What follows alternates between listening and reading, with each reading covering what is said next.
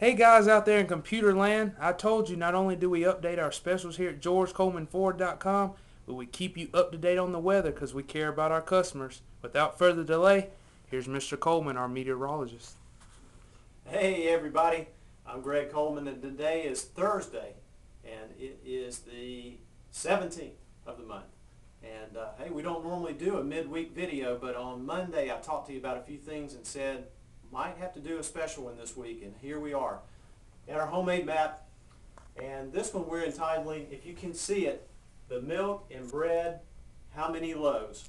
That is the category today. So what we're going to talk about is, you remember on Monday, if you saw the video, we talked about way up here somewhere in Greenland, the blocking that might start taking place, and it has. And that has begun to get more cold air brought down into our area, which today really is not that bad, honestly, but there is some cold, dry air, air here. And we knew a storm had a chance to form down here in the Gulf of Mexico. And the question early in the week was, would this storm just shoot right off the coast and not catch up with any of the cold air, the energy coming from the north, or would it stop right about here, right off our coast, and really generate into a big storm? And it looks like pretty certain now. I think it's about 100% certain there will be a big storm. It will be moving across the Gulf Coast. It will form a big storm here.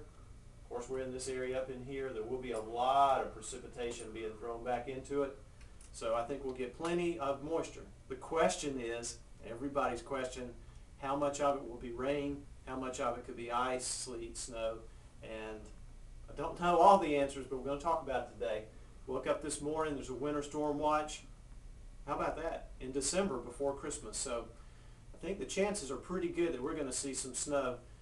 We still, the, the jury is out, to be honest with you, about how much. It could be anywhere from just seeing a few flakes fall, uh, to seeing a good bit of sleet fall, to seeing a fairly good bit of snow. The ground is still kind of warm, so it'll take a while to accumulate. But honestly, in, in South Carolina, North Carolina, somewhere from this storm, there truly could be a foot or more of snow, if you can believe that. So this is just one of those days that for people like me, the amateur meteorologist, it's exciting. So I wanted to let you know, beware. How many loaves? I'm not sure. I would say it's fun to go to the store regardless just to see all the people out. Certainly buy one loaf.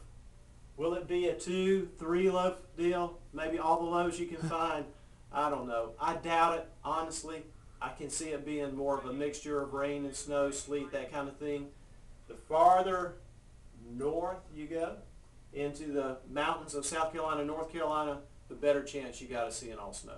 But anyway, it should start pretty early tomorrow, it looks like now. I thought originally it would be like a Saturday deal. It looks like it's going to start early Friday, and we'll know pretty soon what it's going to be. It should, chances are it could start as snow if a cold or a warm nose of air, air, gets in at the higher levels, that would change it over to a, either a sleet or rain type thing. So there's still a lot of questions. We'll know more as we get closer to it. Might do one more update. We'll see. But anyway, should be a lot of fun. Enjoy it.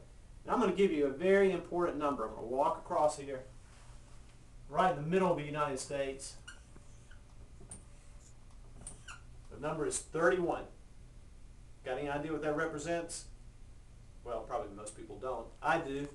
It is the number of four-wheel drive vehicles we have here at George Coleman Ford. So don't forget the snow, sleet, whatever's coming. And we talked about it before. I don't, I don't think this is a one-time deal either. It's the pattern is setting up to where there are chances of more winter storms coming. After this storm goes by, by the way, it's going to be cold. So if we do get snow, chances are it's going to stay a while. And there varying models about next week, Christmas week. Um, you know, it could be uh, warmer and rainy, but it looks, there's a really good chance that it could stay cold and maybe another winter storm somewhere around Christmas Eve or Christmas next week. Who knows? I mean, wouldn't that be exciting? More cold air coming after that. So remember, 31 four-wheel drives might be a good time to get one.